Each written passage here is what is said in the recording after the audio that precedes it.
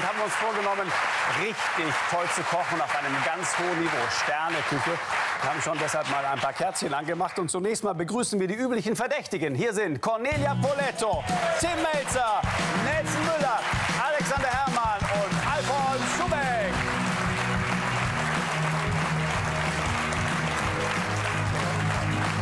Also, ja.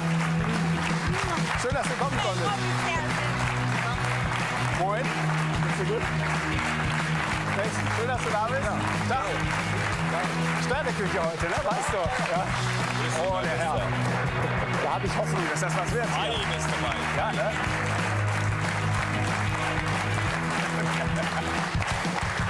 Alfons. Wunderbar. So, ich, ich sage euch gleich mal zu Beginn, ich freue mich wahnsinnig auf diese Sendung, weil ich euch immer am liebsten dann sehe, wenn ihr mal so richtig gefordert seid. Und wir haben uns heute was vorgenommen, Tim. Ja. Sterneküche. Ja, dann gehe ich. Ja.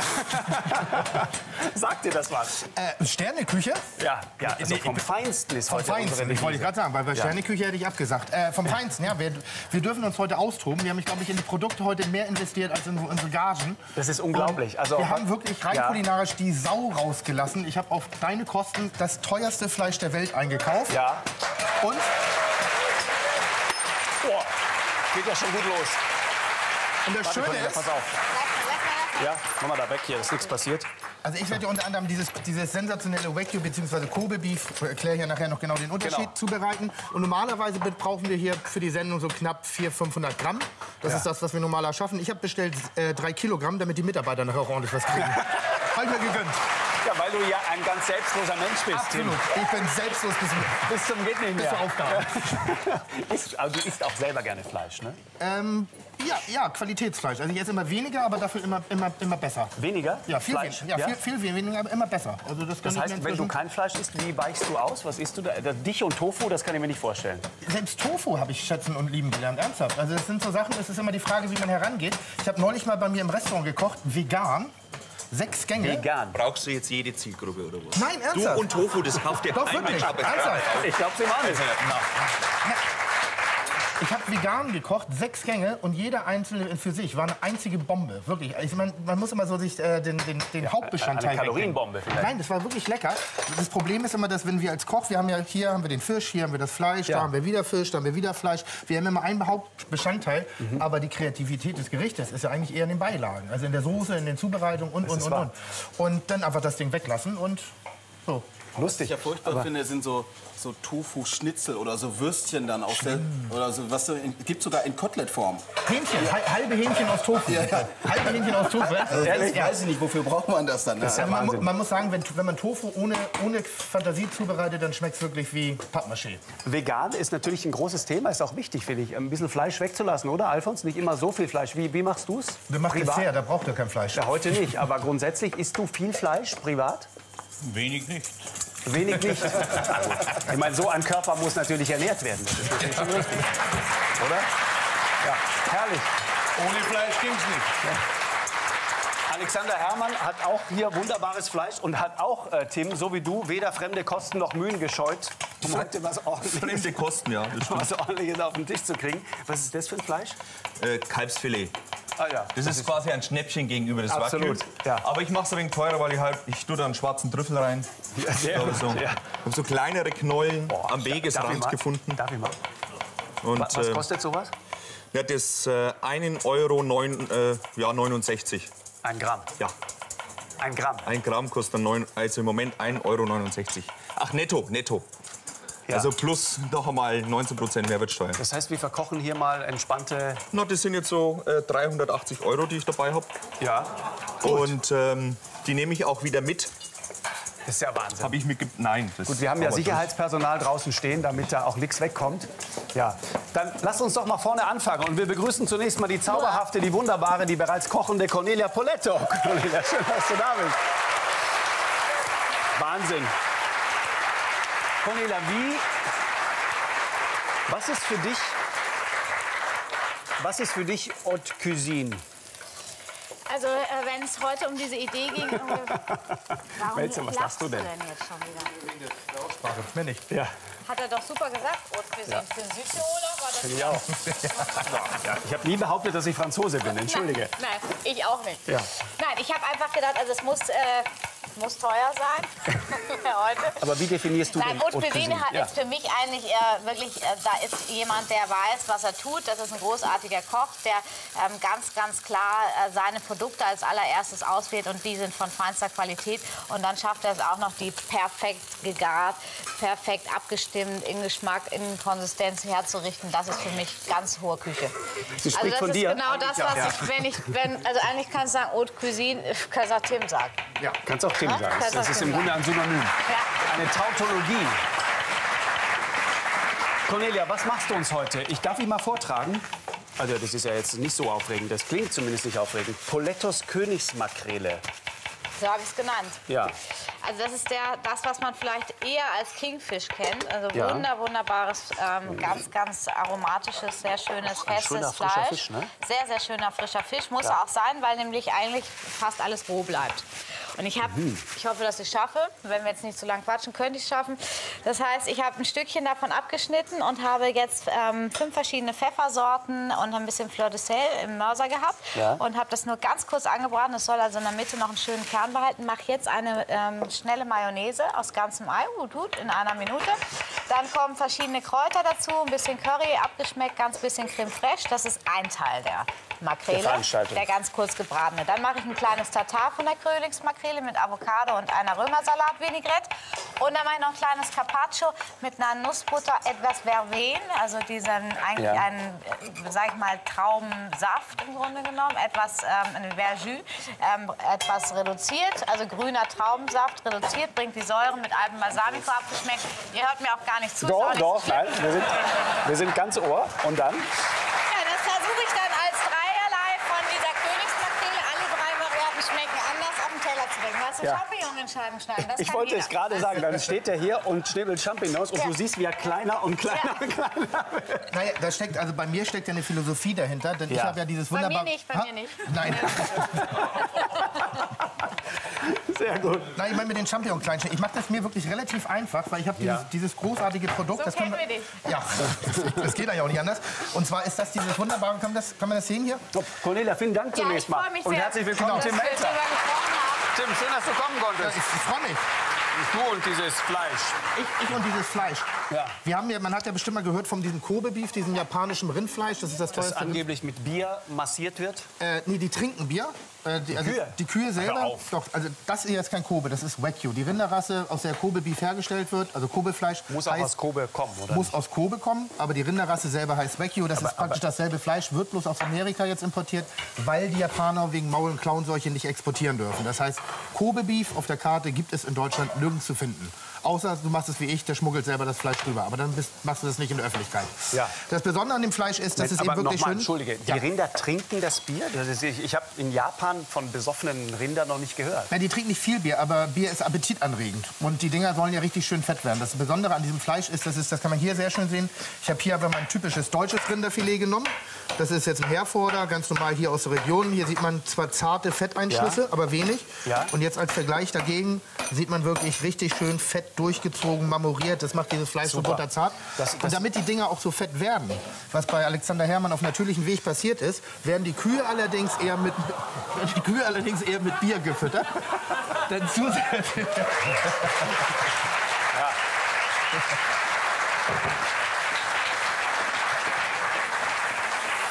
kriegen die halt Bier zu trinken. Die werden wirklich auch am Tag ein bis zwei Stunden marziert, damit das Fett sich schön in der gesamten Kuh auch verteilt. Und damit sie auch noch gut drauf sind, hören sie auch noch klassische Musik.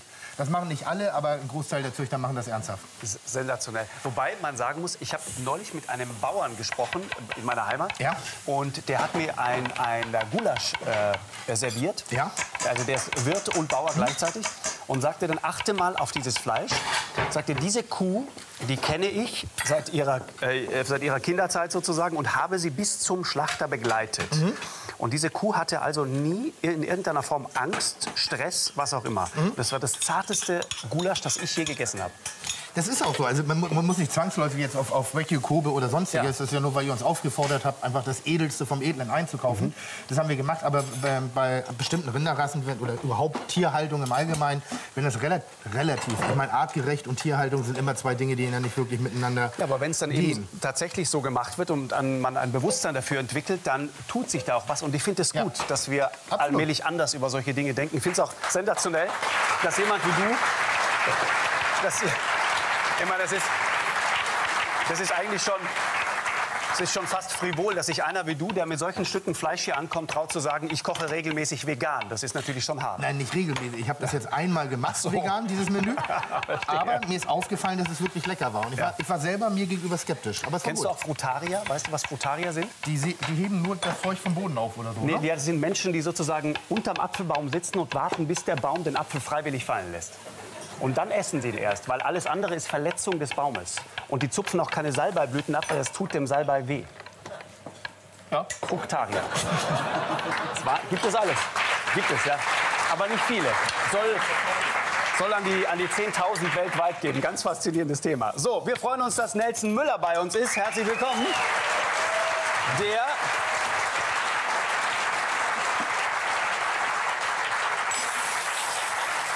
ist ja Wahnsinn. Ich, ich habe das hier gerade noch mal im, im, äh, in meinen Unterlagen. Das kostet richtig Geld, was du hier hast, ne? Ein Kilo kostet derzeitig, glaube ich, 300, 300 Euro für uns. Auf dem freien Markt, also wenn das jetzt eine Hausfrau kaufen würde. Das Ich habe mir, hab mir selber Fleisch aus Japan mitgebracht, das war 750 Euro das Kilo. 750 Euro. das Kilo. Aber es war geil, es war echt lecker, es war der Hammer. Hat Wahnsinn. man hier nicht jeden Tag. Und du hast auch noch eine, eine Murahata-Melone im Spiel. Über die reden wir gleich. Nee, habe ich ja nicht. Hast du nicht? Warum nicht? Die wolltet ihr nicht mehr bezahlen. Jetzt hör auf. Ist das wahr? Das ist wahr. Nein, die ist in Wir haben Berlin. sie nicht bekommen. Die ist in Berlin hängen geblieben, die ist, die, die ist ja nicht legal, die wird ja geschmuggelt Jetzt sozusagen. hör auf. Wir schmuggeln hier nicht beim ZDF, Mensch. Die kostet aber 120 Euro, diese Melone. Gut, dass sie hängen geblieben ist irgendwo. Also, Nelson, du machst uns was ebenfalls sehr, sehr Feines. Uh. Pass auf, ein konfiertes Bio-Ei mit Red King Lachs, den sehen wir hier, Rahmspinat und Bianchetti. Ja, genau. Bianchetti. Bianchetti ist ja eher so Ja. deine, deine Meine Richtung. Ecke, ne? ja. Genau. Toll.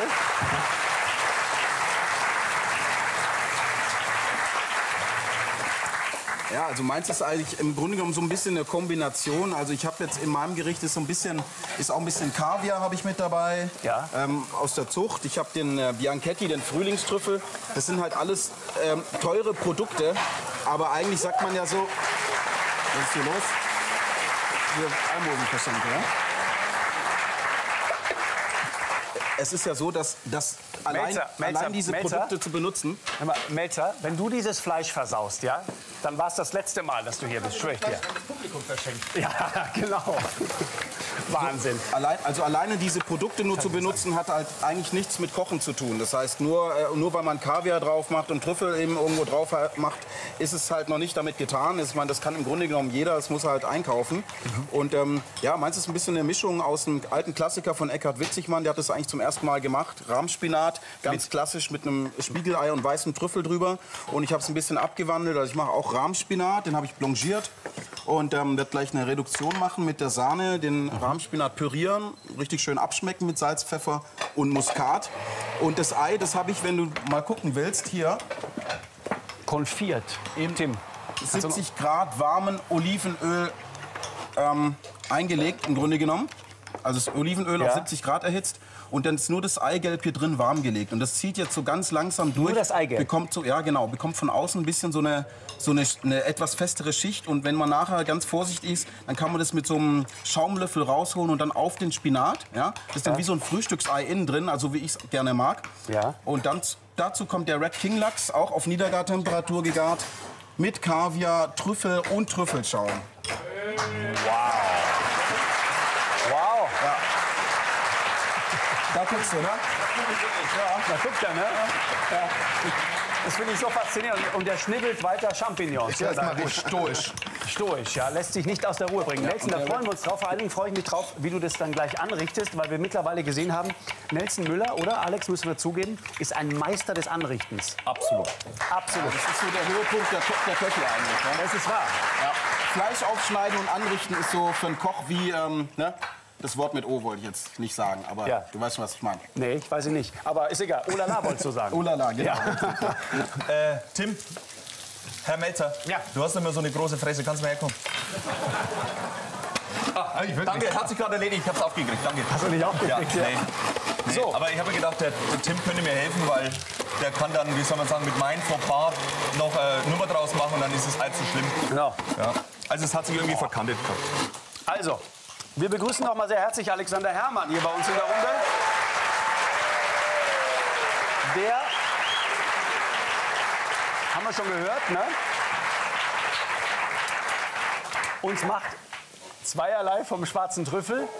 Naja. Und der Alfons ist auch hier ganz fein zugange. Schau mal. Ja, aber dass er sich so ins Eck stellt dafür. Ja, das ist ungewöhnlich für ihn. Er zieht sich zurück. Das könnte bedeuten, dass er entweder sehr gefordert ist oder in Wahrheit ein bisschen schüchtern. Man weiß es nicht Nein, genau. ich glaube, dass der in seinem wahren Leben eigentlich ein sehr schüchterner Typ ist. Das glaube ich auch. Ja, das ist, weil das hier, ich meine, man merkt ja auch hinter den Kulissen, da sagt er kaum was. Ganz ruhig. Entschuldigung. Also, zweierlei vom Trüffel. Ja. Einmal Also ich habe jetzt hier ein bisschen Farce gemacht aus Kalbsfilet. Da hebe ich jetzt ein bisschen Trüffel ganz geschwind runter. Und dann äh, wird es zwischen Toastbrot oder in dem Fall habe ich Tramezzini. Tramezzini. Oh, Tramezzini sind super. Das- also es ist eigentlich Cornelia die kann- italienische Antwort auf Toastbrot. Es ist nur ein bisschen Ja. kompakter gemacht. Genau. Cornelia, kannst du mal genau erklären, was Tramezzini sind? Ich weiß das nämlich selber nicht. Das kriegt man ja auf diesen italienischen äh, Autobahnraststätten. Meistens gehören die alle Silvio Berlusconi, aber das tut jetzt nichts zur Sache. Ist wirklich so. Dem gehört fast Das jede zweite das, das ist ja das Autobahnraststätte. klassische Brot für die Tramezzini. Aber man muss ja was essen. Man will eigentlich nicht hin, aber man muss ja was essen. Dann hast du, also es ist wie so ein ganz weiches, ähm, ziemlich dünnes Toastbrot. Ja, aber was ist, was, woraus besteht das genau? Ist ein wirklich nur ganz, ganz normales Brot? Ganz schlichtes Weißbrot. Also wirklich wie unser Toastbrot, nur ohne Rinde. Aber das, das Ganz, schmeckt doch auch das ist so anders. ein bisschen schwammartig. Ja, Ja, genau. aber es ist, das ist nicht sehr viel anders. Okay, Die nehmen wahrscheinlich ein etwas anderes Mehl, das könnte ich mir vorstellen. ich glaube auch. Also irgendwie, das ist anders. Das ist einfach nicht ganz so. Nicht ganz so. Und die haben, und dann hast du halt verschiedenste äh, Aufstriche, Füllungen Genau. in diesen Das Tramezzini. ist immer so richtig schön, das Ja. trieft und ist ja, mit fettig und... Thunfisch und, ähm, allen möglichen, Ein Traum. auch, auch mit? Mayonnaise. Nee, brauchst du nicht? Kann ich wegschmeißen? Okay. Also, äh, Tramezzini, Farce Ja, und, dann da mache ich der Trüffel quasi natürlich. ein gebratenes Trüffelsandwich. Okay. Oh, Und super, super, super. Das ist bestimmt lecker.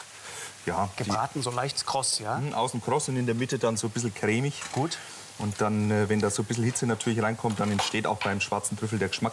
Das ist ja auch beim, also der Trüffel tut mir insofern ein bisschen leid als Produkt selber, weil entweder man hat zu hohe Erwartungen an ihn. Mhm. Wenn du irgendwas mit Trüffel liest, dann erwarten die Leute heutzutage das unglaubliche, irre Sensationsgericht. Aber es ist halt dann doch einfach nur ein Trüffel. Und äh, der Wintertrüffel, den ich jetzt hier habe, der kommt so ab naja, November, aber am besten ist er, also Dezember würde ich nicht kaufen, weil da kostet er mal 1000 Euro mehr im Kilo wegen Weihnachten und Silvester. Ja, da macht quasi die Nachfrage den Preis. Aber dann im Januar und vor allem im Februar Oder jetzt kommt Anfang er dann, April zum genau, Beispiel. Dann ist so, dass die Nachfrage nachlässt und dann kriegst du den Ende März und kannst ihn bis zum 1. April aufheben. Sehr gut. Und dann haben Und wir dann heute hier. Genau. Natürlich. Sehr gut. Ja, und das andere Und das andere, genau, das zweite. habe ich so Kalbsfilet-Medaillons geschnitten und äh, Und mit Trüffel gefüllt, das haben wir ja vorhin schon eine gesehen. Scheibe, äh, Scheibe Trüffel rein, angebraten und jetzt habe ich das bei 95 Grad im Ofen. Garst du jetzt gemütlich vor sich hin. Äh, mal Frage in die Runde. Was ist, äh, gibt es sowas überhaupt? Was ist das beste Essen, das ihr jemals gegessen habt? Gibt es sowas? Für einen Spitzen? Meiner Mutter, ganz ehrlich. war? Das Essen meiner Mutter. Das ist wirklich das, äh, ja. Das ist das, aber, äh, ganz ehrlich, ich mag zwar, ich habe Spaß daran, so zu kochen und auch mit den teuren Produkten zu kochen, aber zu Hause könnte ich mir nicht jeden Tag irgendwie Trüffel und Kaviar und was weiß ich was da noch geben. Da freue ich mich wirklich über ganz einfache Sachen, die natürlich auch gut zubereitet sind, aber ähm, mir würde auch vollkommen Rahmspinat mit einem schönen Spiegelei reichen. Super. Was ist das?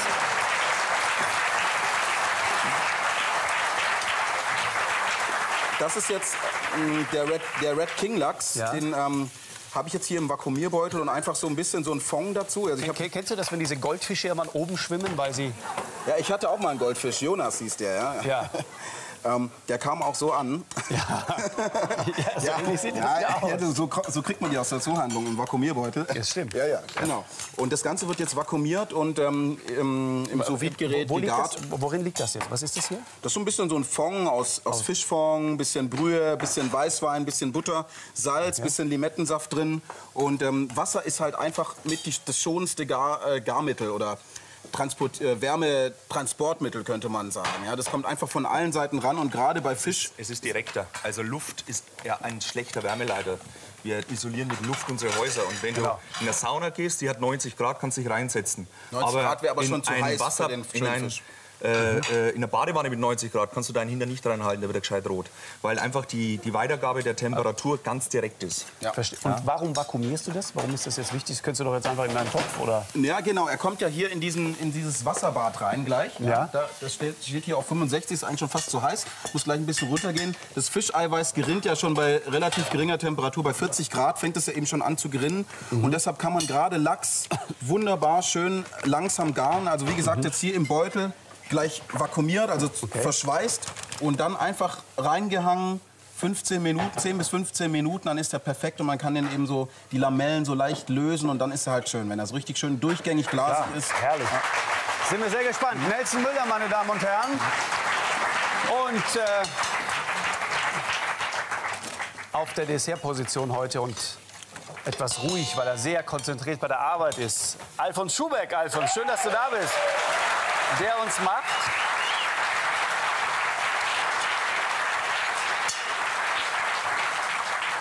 Ah, das ist hier diese, dieses, diese Tramezzini-Geschichte hier, das habe ne? ich jetzt da links noch aufgeschnitten, dass es ein wenig dünner ist. Genau. Zu viel Brot schadet dem Trüffel. Ja. Ja. Das macht auch den Gourmet zu schnell satt, dann schafft das Menü nicht. Herrlich. Also, wir sind bei Alfons hängen geblieben. Pralinenmus mit Mangostanensalat. Habe ich das richtig gelesen? Das sind Mangostanen? Mangostanen, die gibt es in Malaysia. Mittlerweile gibt es es jetzt überall, wo es ein bisschen tropisch ist. Das ist ein Baum, der, wenn man ihn anpflanzt, der ungefähr sieben bis neun Jahre braucht, bis er zum ersten Mal Früchte trägt. Diese Früchte, sagen wir mal, zwischen 10 und 20 Jahren erträgt er am meisten von diesen Früchten. Und äh, so ein Baum kann man, sagen wir mal, zwischen 500 gibt es auch, die tragen 500 und die anderen tragen 5000. Und diese Mangostanen, Und wenn das jetzt- teuer, nehme ich an. ja, so ungefähr, so ungefähr 3 Euro kosten eine. Ja. Eine. Schau her. Das ist sehr antioxidativ, das könnte man jetzt mitessen. Diese Schale ist aber sehr bitter. Das können Sie jetzt rauskratzen. Ja, das sind sehr viele Polyphenole drin. Ja, das sind sehr bitter, so hoher Radikalfänger. ja, Antioxidantien halt. Ne? Achso. Ja, oder so. So was ähnliches. Jetzt schau her. Und wenn das hier, das ist praktisch das ist schmackhaft. Das muss ja nicht das essen, ist doch das da. Ja, du hast mir das doch eben angeboten. Du hast gesagt, darf ich es essen? Aber ich sag ja. Das gesagt, ist gesund. Her. Und hier. Und jetzt nimmt man dann diese kleinen Rippel raus. So. Ja? Das zupft man so raus. Probier mal. Das ist sehr gut. Ja? Hier. Das schmeckt jetzt zwischen Lychee, Banane und Stachelbeer. Stimmt.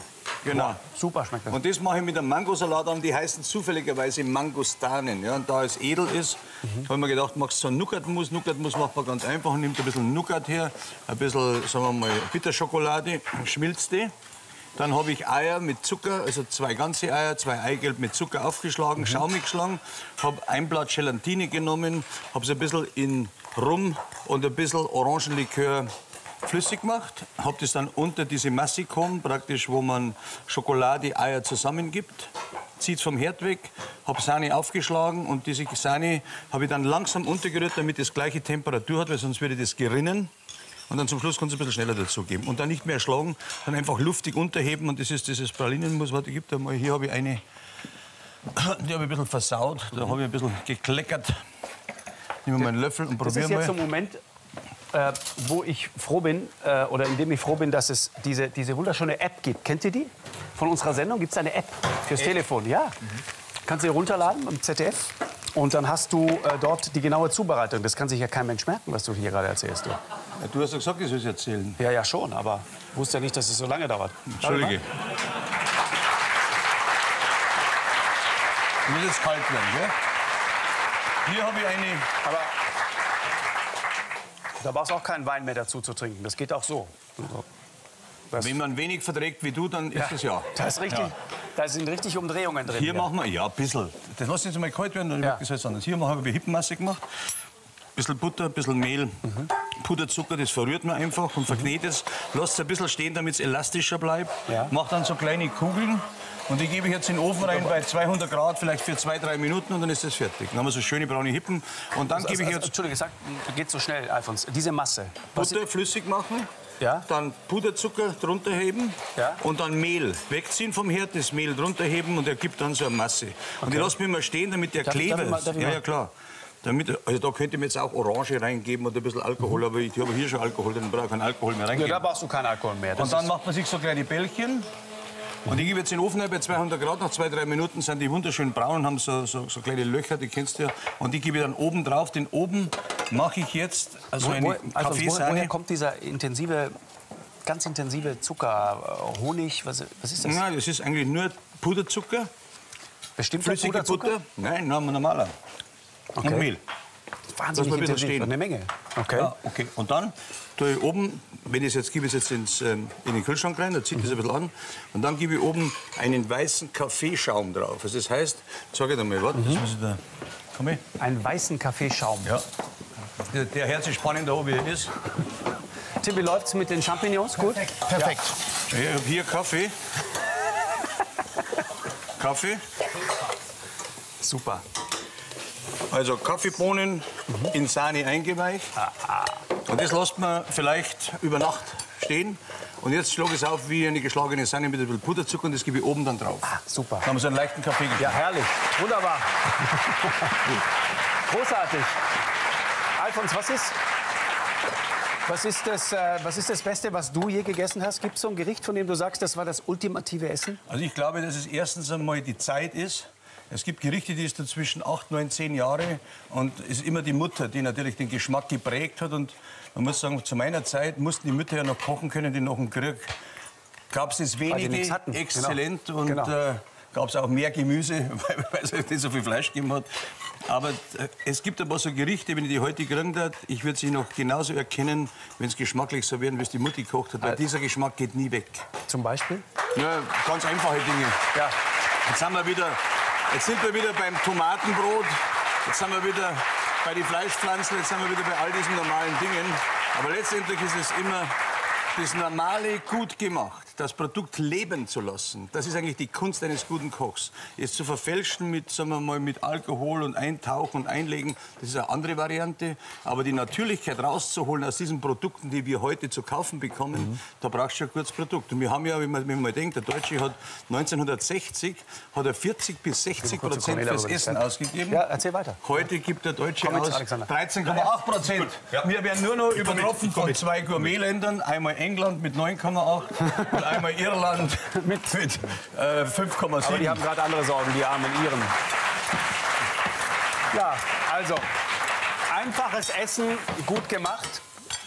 Tim beherzigt diesen Ratschlag und macht viele Champignons heute. Ja. Aber auch raffiniert, oder? Nee. Nein, dann ist gut. Dann, äh, dann sollten wir die erst mal essen. Was brauchen wir den Löffel? Nee, einfach. Also wirklich einfach. Weil ich, ich sage ja, das ist, äh, ich finde find das ganz toll.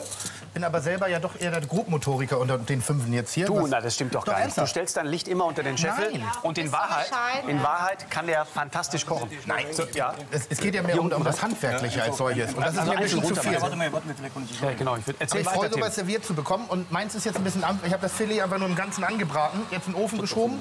Unter Anleitung von Frau Poletto bei 120 Grad, also schön entspannt, damit das Fett ganz leicht jetzt, damit das anschmilzt. schon mal abgesichert ist, wenn es gleich nicht in Ordnung Ganz genau. Und dann wird es dann wird's gleich nur schön aufgeschnitten, und kurz mariniert und gegessen. Keine Beilage, kein Ding, einfach purer Geschmack.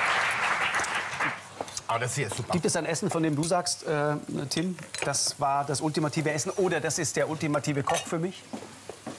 Neben Alfons Schubeck natürlich und Cornelia Den Poletto anderen und üblichen Verdächtigen. Nelson ähm, Müller und Es gibt Burrata, so ein Ja. schöner Mozzarella-Käse. Genau, ja, ja. Den liebe ich. Das mit einem Stück Bauernbrot, Glas Champagner dazu. der Käse selber ist ein relativ einfaches handwerkliches Produkt, aber der schmeckt sensationell, wenn du ihn bloß einmal frisch in Italien direkt nach dem Machen gegessen hast. Das ist wahr. dann nimmst du den Rotz nicht mehr, den es hier im Supermarkt abgeht. Also es ist so, es macht es manchmal echt schwer. Also manchmal Stimmt, bin ich aber andererseits auch gut, dass, Super. dass man weiß, wie es wie es schmecken könnte. Ja. Und insofern muss man es dann einfach entsprechend nachfragen. Wie schmeckt es denn und vor allen Dingen, wie ist es genau gemacht? Also ich habe jetzt hier ein Stückchen von der Königsmakrele kurz gebraten mit fünf verschiedenen Pfeffersorten, Fleur de Sel und einer kleinen Kräutersoße mit ein bisschen Curry, habe ich mir von Alfons geliehen. Dann habe ich hier ein kleines Carpaccio gemacht mit Nussbutter, ein bisschen die Säure reingebracht durch die Verdü, durch den grünen Traubensaft. Und hier habe ich ein kleines Tatar mit ein bisschen Römersalat, Vinaigrette mit etwas Wasabi abgeschmeckt und Avocado. Wer hat gegessen? Alfons. Sehr, sehr gut. Sehr, sehr gut. Ja. Was schmeckt dir besonders und warum? Du, das schmeckt alles. Das ist wunderbar. Diese braune Butter. Das Carpaccio, Königsmakrele hier. Sensationell, also da kannst du nicht meckern. Also mir schmeckt es ein guter Auftakt. Finde ich auch. Zu Kompliment. Kompliment.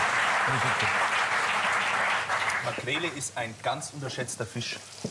Weil das nämlich einer ist, der auch richtig Charakter hat vom Geschmack her. Ne? Also, ich will jetzt nichts gegen das heißt, einen man, man muss wissen, wie man damit umgeht. Ja, nee, der Ja, hat auch ich wirklich keinen Mann mehr Aroma. finde mit Charakter, habe ich mir wenigstens einen Fisch mit Charakter. Oh, Kleiner Scherz. Ja, aber natürlich. du weißt, Fisch und so und Mann, da könnte ich in dieser Wurst jetzt auch. Aber Ja. ähm, Makrele, mal. finde ich, ist ein sensationelles Produkt.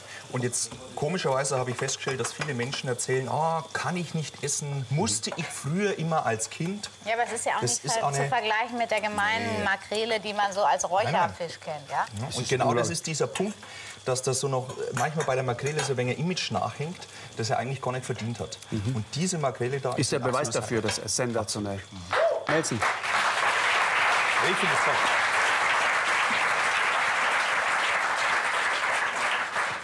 Ja, also das ist, da kann ich einfach nur noch mal drauf zurückkommen. Also wie gesagt, irgendwo Trüffel drauf zu hobeln oder Kaviar drauf zu machen, das hat nichts mit Kochen zu tun. Aber das hier ist halt irgendwie Kochen in Höchstform. Das heißt, eine Makrele in Anführungszeichen einfaches Produkt, aber einfach handwerklich so perfekt verarbeitet, dass es halt ein königliches Gericht wird. Das ist halt die wahre Kunst halt. Ja. Darum geht's Tim? halt beim, darum geht's beim Kochen. Absolut. Toll. Männer mit Charakter, weißt Ja, ja, ja. Deswegen kommst du gerne her. du? Ja. Tim, du hast auch probiert. Ja, und ich finde das, nein, ich finde es wirklich hervorragend. Dieses Gericht macht mich so ein bisschen wütend, also so ein bisschen neidisch, eifersüchtig, weil das von der Frau gekocht ist und das schmeckt man. Und das meine ich jetzt wirklich voller Respekt. Da ist eine bestimmte Handschrift drin in diesem Gericht, das hätte ich blind ertesten können, also wirklich probieren können und sagt, das ist Dinge von der Frau gekocht. Das ist, hat irgendwas ganz Besonderes, was mich manchmal begeistert, wenn du auch bei, bei Aber seitdem du 40 bist, bist du viel, viel netter. Nee, seitdem ich sturzbetrunken bin. Das ist das Ding. Nein, nein aber ernsthaft. Ich, das ist wie. Ich kann italienisch kochen, aber ich werde nie die italienische Küche beherrschen. Das werde ich nie tun, weil es ist immer eine, ein, also so eine Nuance, die ich nicht reinkriege. Das ist die, eine Mama-Küche, die es italienische ist Küche. irgendwas. Und der Geschmack hier, den werde ich nie erreichen, egal wie lange ich koche, weil der so subtil, so auf den Punkt ist. Es ist nicht zu, nicht zu wenig, nicht der, es ist einfach spannend. Und bei drei Sachen gegeneinander mit demselben Produkt, die auf den Teller zu kriegen, trotzdem hat jedes einzelne für sich eine Wirkung. Das ist schon eine, ist schon eine Meisterleistung. Und Also auch die ist in gar der nicht so kurzen- schlecht, wie ich immer gedacht habe. Auch in der kurzen Zeit, muss man Nein, sagen. der war wirklich gut. Cornelia. Ja, wirklich gut, lecker. Ganz lecker. Großartig. Ich mag die auch. Cornelia, dann ähm, machst du uns eine Portion fertig für unsere Küchenschlachtgewinnerin, Ja, ja, ja. Franka Illedic, die wir sehr herzlich begrüßen da vorne. Herzlich willkommen. Haben wir noch eine? Noch eine? Eine? Eine, eine, ja, eine. Cornelia Poletto, vielen Dank. Und äh, wir freuen uns jetzt auf dieses Fleisch. Tim, mach langsam. Wir wollen einmal schauen. Ist es zunächst mal ist es so geworden, wie du es dir vorgestellt hast? Perfekt. Also ja? wirklich so. Ja, weil dieses, Das dieses, ist aber sehr roh, ne? das ist sehr roh.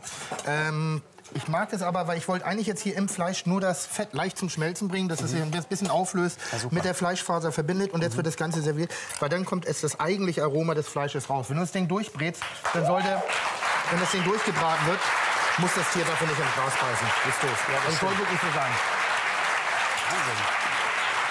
Ja, Cornelia, ist, ist wirklich extrem roh, das Ding, ne?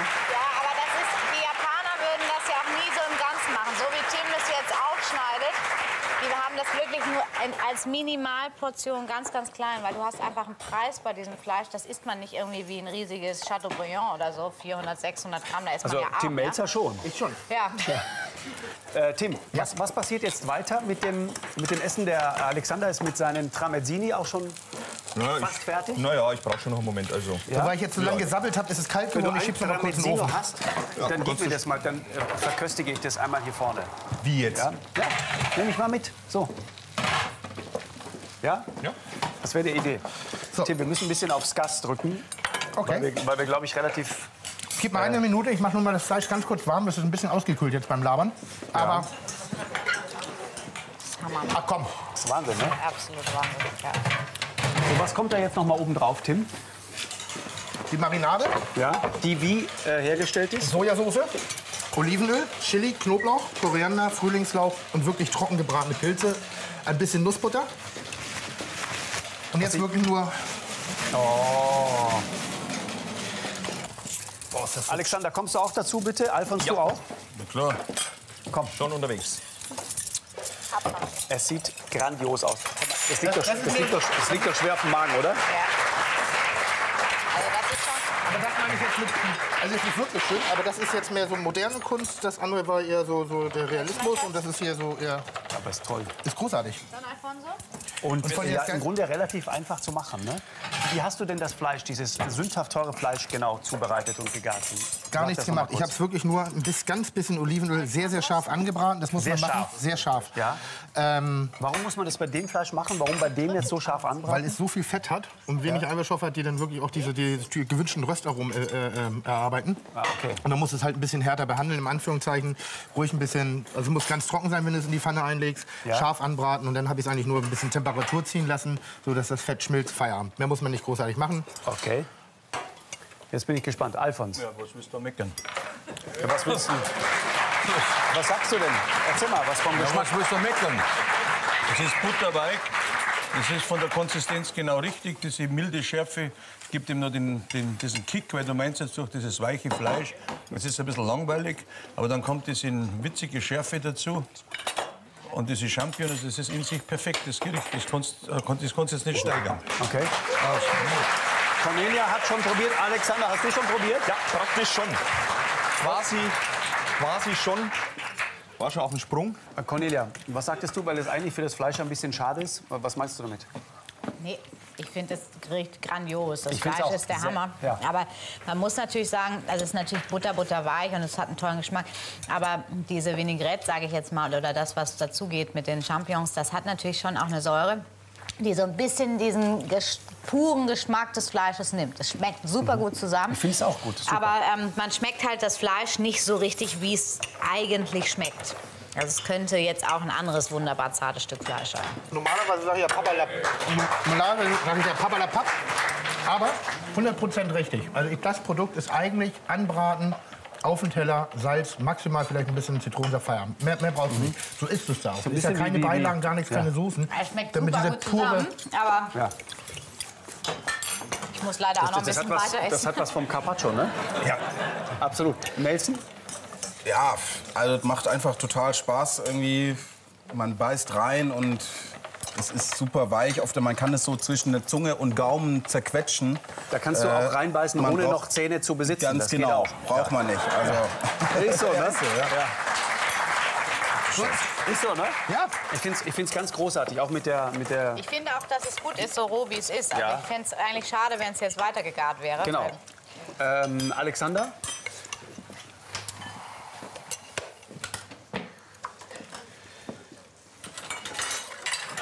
Gut. Ja. Super. Also eigentlich müsste Eine man wunderbare Fleischqualität. Ich finde, es ist sehr modern interpretiert mit den Pilzen und alles. Es ist ganz toll. Ich bin ja auch der Jüngste hier. So. Nein, bist du Ich bin ja gar nicht, ne? Nee, Nelson ist der Jüngste. Was aber auch wirklich zeigt, ernsthaft, man kann einfach bei bestimmten Sachen kann man schon fast nichts mehr falsch machen. Also wenn das Produkt als solches... Ich wollte das- dich gerade fragen, das hast du, heute, hast du heute gut gekocht oder einfach nur gut einkaufen lassen? Ernsthaft, das ist 90% Einkauf Ja, und ne? 10% heiß machen. Mehr ist es nicht. Das ist, Na, äh, nein, wirklich, es ist, nicht, es ist aber nicht mehr. Das ist das, wenn du ein gutes Ding hast, dann brauchst du wenig machen. Unglaublich gut. Ich bin total fasziniert von diesem Wer Essen. nicht kochen Du hast auf jeden Fall heiß gemacht heute. Cornelius. also wer nicht so richtig gut kochen kann, der spart halt ein bisschen länger, um sich so eine Qualität von Fleisch zu kaufen. Ja. Dann musst du auch nicht mehr kochen. So Das ganz ist, das einfach. ist wirklich wahr. Oder nicht? Naja. Ich finde aber trotzdem, dass Ja, die ist super. Aromen, wie das alles zusammenkommt Also ich und so. höre auch nicht auf zu essen. Zwiebeln und so. Lauch. jeder müsste mal so Rindfleisch gegessen haben, damit er mal merkt, was geht. Das stimmt. So, äh, Kim, machst du eine Portion? Eine Portion fertig für unsere Küchenschlachtgewinnerin?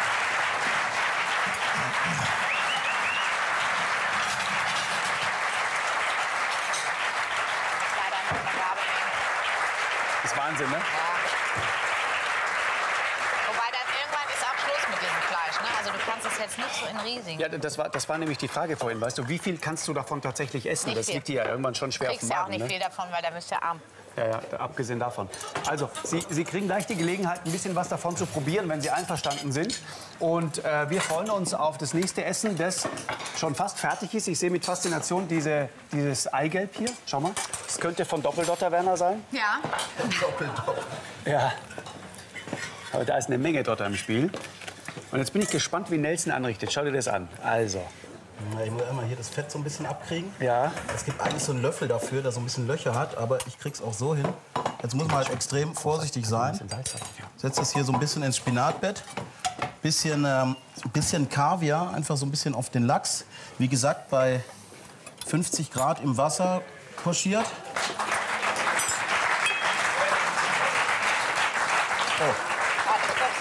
An? Ja. Bisschen ähm, Trüffelschaum halt.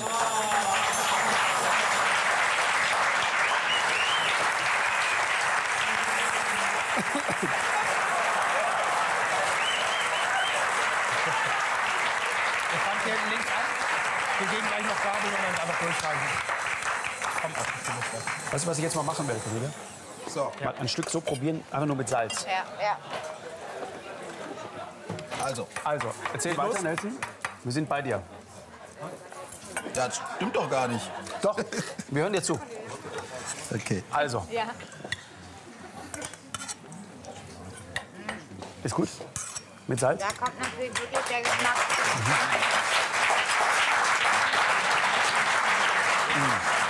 Also das merkst du halt durch die Säure nicht so Salz, grün der bisschen noch? Ja, ich hab schon. Danke. Jo. Also, Spitze, ne? Spitzenmäßig. Alexander, komm auch zu uns, schau mal. Oh, wunderbar. Sehr gut.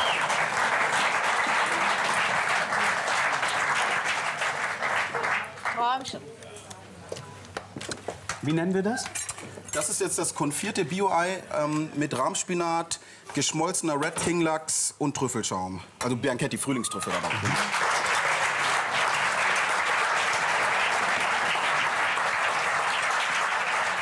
Schon nicht schlecht. So. Alfons probiert. Vorne in der ersten Reihe Tumult wegen deines Fleisches, Tim. Die geben es auch nicht mehr ab. Das ist Ja. schon ganz lange da. Aha, du hast, kennst das ja. Alfons, was sagst du? Ja, das ist ein Klassiker, der schmeckt.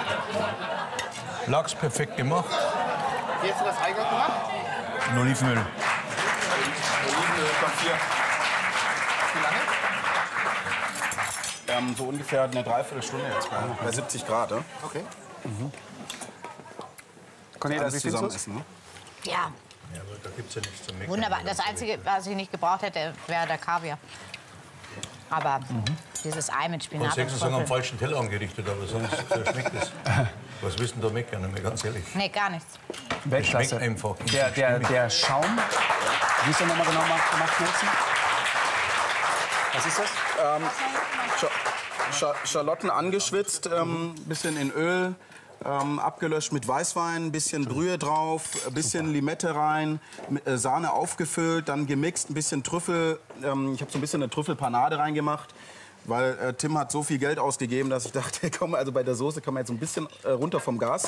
Ja. Und ähm, das halt einfach ein bisschen Trüffelaroma hat und äh, ja, dann gemixt, ein bisschen Butter rein und der Lachs, wie gesagt, der, du siehst, dass man, der ist durchgehend glasig. Ja? Sehen wir hier, super ist es. Ja. Jede einzelne Schicht kann man sich hier anschauen. Ganz Und ich genau. finde übrigens, äh, Cornelia, Ja. ich habe das eben mal bewusst probiert hier mit dem bisschen Kaviar da oben drauf.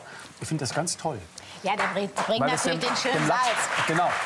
Den Geschmack. Ich verstehe das schon. Der Trüffel braucht den Kaviar nicht. Nee, braucht er auch nicht. Also, aber das ist halt so ein bisschen Das mit geklotzt. Kaviar ne? ist super und das mit Trüffel ist super. Ja, aber ob du den dann noch einmal, also Kaviar mit Trüffel, ich finde es nett, das ist gar keine Frage. ist halt ein, ne? Warum nicht? Hau mal halt einmal Das drauf. ist halt, wenn man es genau, nicht bezahlen muss, kann man es ja mal einfach Ja, auf eben. einen Teller bringen. Ist doch nicht schlimm. Naja, Aber ich finde es fantastisch gemacht in jedem Fall. Ganz, Ja, ganz super. großartig. Sag mal, richtest du jetzt noch so eine Platte an, hier so eine Schlachterplatte? Ich habe noch ein Kilo davon. Ja. Kann man ja auch mal Wahnsinn. machen als Rubrik, oder? Gut Catering. Catering? Ja, genau. Das wird hier eine, eine Catering-Veranstaltung allmählich. Wahnsinn. Wahnsinn, Wahnsinn. Also, Nelson, ganz toll gemacht. Ich danke. Äh, Klassiker. Ja, ganz, ganz fein interpretiert.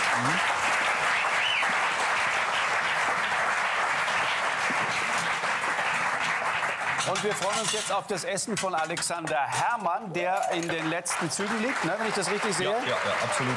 Zweierlei, zweierlei vom schwarzen Trüffel. Ähm, dich habe ich noch nicht gefragt, Alex. Gibt es ein, ein Essen, von dem du sagst, das ist das beste, grandioseste, was ich je gegessen habe? Also es ist so, dass eigentlich gibt es da zwei Seiten. Entweder du hast diese emotionale Basis, Ja. gerade das das Elternhaus ausmacht. Ja, also Mama oder. Genau. Aber ich finde auch, und so ging es mir, dass du so außergewöhnliche Gourmet-Momente auch sehr genießen kannst. Und ich war einmal bei Alain Ducasse in, äh, ach Gott, das ist glaube ich 20 Jahre her, in Monte Carlo. Und eigentlich ein ganz unverschämter Service. Weil damals, Unverschämter Service? Unverschämter Service, ja, die haben jetzt Unverschämt schlecht oder unverschämt ja, es war die Arroganz so nach dem Motto, oh, da sitzen ein paar junge Deutsche. Ja, das war schon ein bisschen komisch. Aber äh, hat mich nicht gestört, weil das war ein unglaublicher Moment, da zu sitzen und dann äh, auf das Casino zu schauen. Und ich kann mich da noch an die Vorspeise genau erinnern. Und es war nichts anderes als ein gemischter Salat mit roh gehobelten Steinpilzen, Meersalz und Olivenöl. Und ich habe in meinem Leben noch nicht so einen Steinpilz da gegessen. Das war, ist heute noch bei mir präsent. Und ich möchte auch wieder hin, aber Aber was, hast du irgendwann rausgefunden oder jemals rausgefunden, was das für ein Steinpilz war? War das Ja, es war ein, halt ein normaler Steinpilz schon von dort, Gut, aber- aber, es hat halt alles gepasst, die Atmosphäre, das, du sitzt auf der Terrasse. Das sind einfach diese Dinge, die da bei mir stark mit reingespielt haben. Deswegen erinnere ich mich. so dieses daran. ganze, dieses James Bond mäßige. Hallo, jetzt weiß ich's. Oder? Ja, Natürlich. genau, das war's. Monte Carlo, James Bond, das ist ja alles so großartig. So, So, jetzt machen wir hier mal noch die isst du auch so gerne. Tramezzini? Okay, super. Ich auch. Das ist so richtig fettig. Mit Mayonnaise, dass es nur so kracht. Ja, ja. Kennst du sowas, Alfons? Tramezzini? Aber ich mag sowieso gerne Mayonnaise. Mayonnaise, ne? Ja. Aber kann man Mayonnaise auch, sagen wir mal, so machen, dass man nicht das Gefühl hat, dass man beim Essen schon Ich mache 20 sie immer mit, mit ganzen Eiern, sprich das Eiweiß dabei und dann ist es schon mal ein Hauch leichter. Und erinnerst du dich noch, der ähm, Johannes King hat es mal komplett ohne Ei gemacht, Genau. nur mit Milch. Und das war grandios gut. Ja, ja. Also man kann heute schon die Mayonnaise ein bisschen äh, erleichtern sozusagen. Ja. Ja, das ist wahr. Und das sich selber auch. ja, ja, in der Tat. Das sieht gut aus. Alfons, du bist auch schon fast fertig, gell? Oh, Warte, warte. Oh, nichts passiert, nichts passiert. Aber dann Tim, hier, kommst du mal kurz dazu? Sofort. bitteschön. So, so sieht's aus. Trüffel. Zweierlei, Trüffelsatt. zweierlei vom schwarzen Trüffel. Wahnsinn. Diese, diese sehr großen äh, äh, Trüffelstücke, wie hast du die genau gemacht? Die habe ich in Scheiben geschnitten und ich habe die äh, Birne ganz kurz ein bisschen angebraten in Butter und dann habe ich die Scheiben reingelegt in diese warme Butter, dass die ein bisschen garen und äh, das war's eigentlich. Und in dem Moment, wo es nicht ganz so dünn ist, finde ich, ist es ein anderes Erlebnis, wenn du auf so ein dickes Stück Trüffel beißt, als Ja. wenn das so dünn gehobeltes Ding ist. Ne? Ja, das ich meine, ist das, wenn ich jetzt, das, wenn ich jetzt dünn hobel, habe ich den Teller voll. Genau. Ja? Und äh, somit, ich, wenn ich jetzt böse bin, könnte ich sagen, hätte ich Effekthascherei betrieben, weißt du? Der Mensch, der steckt gerade den Trüffel ein. Und du bist ein Arsch, dass du mich verpetzt. Ja, natürlich. Isst du gerne Trüffel, Tim? Passt eigentlich gar nicht zu dir, so finde ich. Trüffel. Fleisch ja. Noch, noch mal, es, mir geht es nie um den Preis, mir geht es Nein, nein, lass mal wenn, den Preis wenn weg. das Nur vom Geschmack meine ich jetzt. Ich muss sagen, dass ich Ich habe mal in, in, in London für jemanden gearbeitet, Antonio Caluccio, der ist ein, ein, Ja. sehr bekannt für seine Pilzgerichte. Und da sind die Bauern wirklich direkt, also die Pilzsucher, die, die Trüffelsucher direkt, wenn sie gefunden haben, ab ins Flugzeug zu ihnen hingeflogen. Ehrlich? Und wenn er da die Do Dose aufgemacht hat, dann hat der ganze Laden gestunken. Also fast vulgär, ordinär. Das war opulent, ein, ein, ein Geruch einmalig. Seitdem habe ich nie wieder richtig gute Trüffel gegessen. Und ich weiß nicht, ob ich das überhaupt beurteilen kann, weil ich habe nicht oft genug in meinem Leben Trüffel gegessen, um zu sagen, wo ist die Qualität, wo nicht. Ich meine, für mich hier in Deutschland noch nie gute Trüffel gegessen zu haben. Wie findest du ich den meine. hier? Den finde ich okay, aber das ist, glaube ich, das, was, was Alexander auch sagte. Also das Gericht ist sehr gut. Das meine ich. Also das Gericht ist wirklich hervorragend. Diese Weil gra- Tramezzini hier auch. Gerade auch die, die Mischung mit der Birne, das finde ich gut. Das, das Trüffel werden ja oftmals auch so mit leichten Portsachen eingelegt. Und wie so. Das heißt, die Süße passt wirklich großartig, Kalb sowieso. Ähm, ich bin mir jetzt nicht sicher, ist, ist das ein guter Trüffel, ja oder nein? Das kann ich nicht beurteilen gerade. Es ist ein guter Trüffel. Ist es ein guter Trüffel? Aber ich gebe dir recht, es ist nicht der Sensationstrüffel, weil der verlässt das Land nicht. das meine ich. Das ist so, dass der Trüffelbauer, wenn er den hat, der sagt, oh, der haut mich um, den isst er selber. Okay. Den zweitbesten, den fährt er nach Frankreich. Und alles, was danach kommt, das wird verkauft. Weil das ist ja bloß eine Handvoll und äh, da wird einfach schon ein bisschen anders gearbeitet. Aber das ist äh, ein Trüffel, den du, gerade diesen Wintertrüffel in dieser Qualität, wenn du hier in Deutschland kriegst, wo du da schon einen der besseren Qualitäten kriegst. Weil dieser Okay. Sommertrüffel, das ist fürchterlich. Da kostet ja ein Kilo 150 Euro oder irgend sowas. Und das ist wirklich, das, wenn du drüber hobelst, das schmeckt auch wie ist Also den Sommertrüffel nicht kaufen, das ist, das ist wirklich, Entschuldigung. Also entweder so nix. oder gar nicht. Gescheit. Am besten wirklich hier Februar, März noch mal die letzten Ernten absahnen. Da geht der Preis dann noch mal ein bisschen runter. Und dann kannst du ihn auch selber einmachen. So, jetzt Alfons. Also ich gebe dir nicht ganz recht, dass wir nur einen schlechten Trüffel kriegen. Ja, das habe ich nicht gesagt. Aber ich bin, weil die müssen ja auch ein bisschen Flagge zeigen. Aber der Trüffel ist sicher nicht schlecht, der ist sehr gut.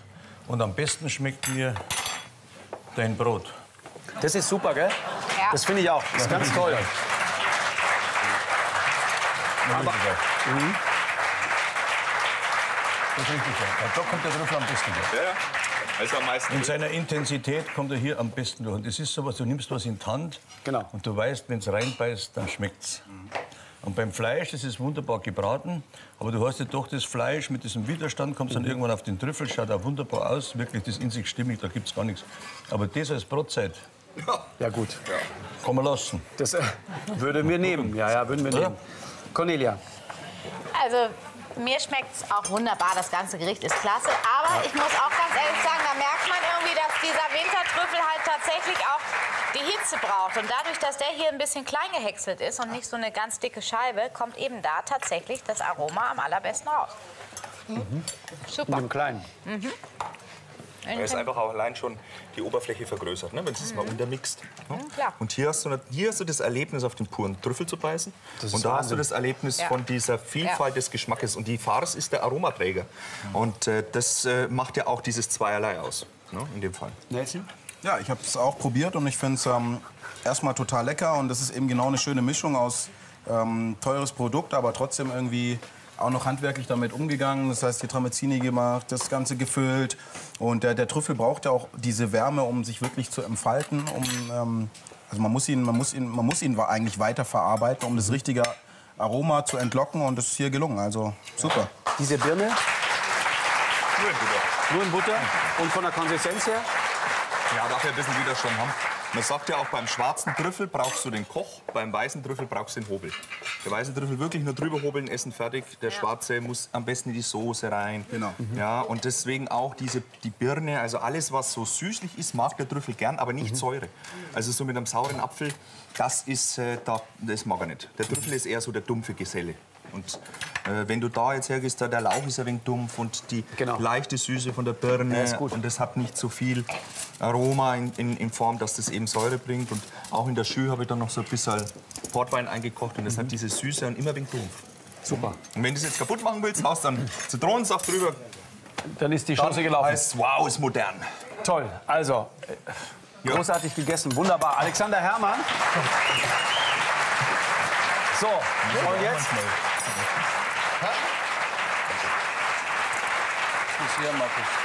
Ich weiß. Aber ich muss das ablesen, weil das so ein kompliziertes Wort ist. Mangostaden, Mangostanen, Stanen, Mangostanen. Pralinenmus mit Mangostanensalat von Alfons Schubeck. Das ist das Falsche. Das ist das Falsche. Das ist das Falsche? Ja, ist da was schief gelaufen, oder? Nein, gar nicht. Ich habe sie rausstehen lassen. Also. Weil ich mir gedacht habe, der Kameramann hat Hunger, aber der hat sich nicht getraut.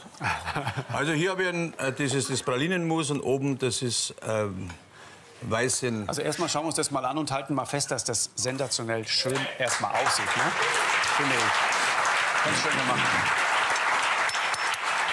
Gehört natürlich länger in den Kühlschrank, das ist ja klar, weil das ist.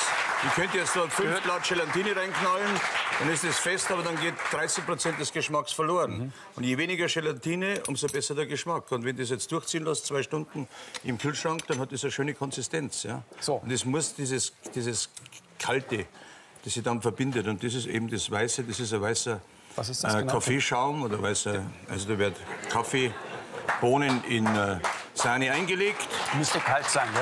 Also muss alles kalt sein, aber das ist halt.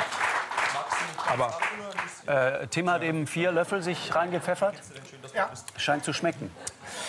Super, weil, also was ich ja wirklich mag, ich, dass so, so simple Desserts, in Anführungszeichen simpel, aber es ist eine Creme, es ist in, in einem Glas angerichtet, es ist nicht das ganz große Konzert, das ist eine Sache, die man auch gut zu Hause machen kann.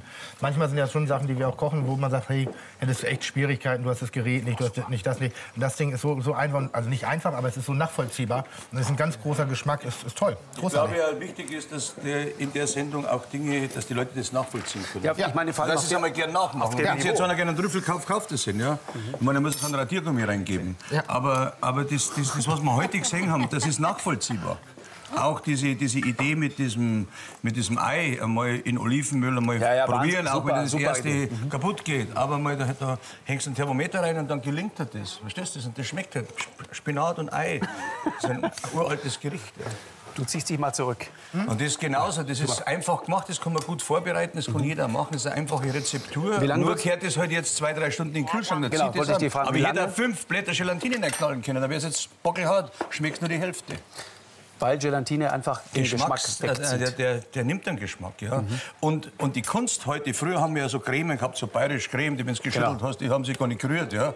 Und, und, und die Kunst ist ja, dass es stockt. Aber wenn du es isst, dann muss es gut schmecken. Und man hat es einmal nur mit Eiweiß gemacht.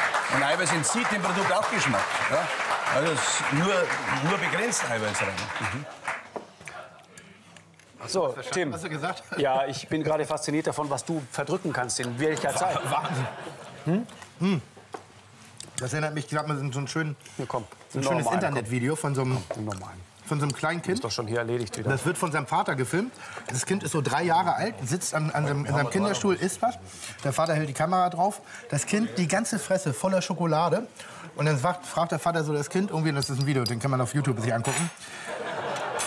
Ich weiß nicht, wie das Mädel hieß, irgendwie so, Andrea oder Petra. Petra, eins musst du wissen, man darf nicht lügen. Und ich frage dich jetzt ein letztes Mal, hast du die Schokolade gesehen? Und dieses Kind, wirklich, großartig, pass auf.